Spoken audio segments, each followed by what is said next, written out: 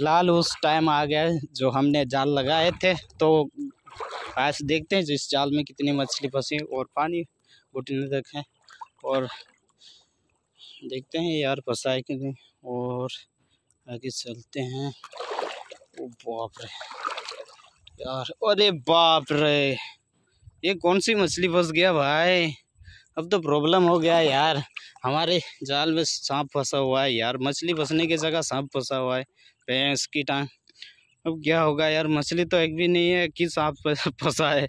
अब इनको किससे यार। अब आगे देखते हैं यार क्या करे किस्मत सा है और यार मछली तो यार सिर्फ़ एक ही फंसा हुआ है और वहाँ शायद उस तरफ़ जाते हैं। इधर एक फंसा हुआ है। हाँ एक पुट्ठी माछ या एक दो, दो। अरे बाप रे यार। एक सांप फंसा हुआ है यार किस्मत। किसने साथ दिया यार? अब मछली ही नहीं है यार क्या बताएँ? जब वो लोग कूद रहा था तो सब छोटा होगा इस नेट से। अब एक ही टेंशन है यार मुझसे उस सांप को कैसे हटाए इस नेट से? बस अब यहाँ खोल देते हैं।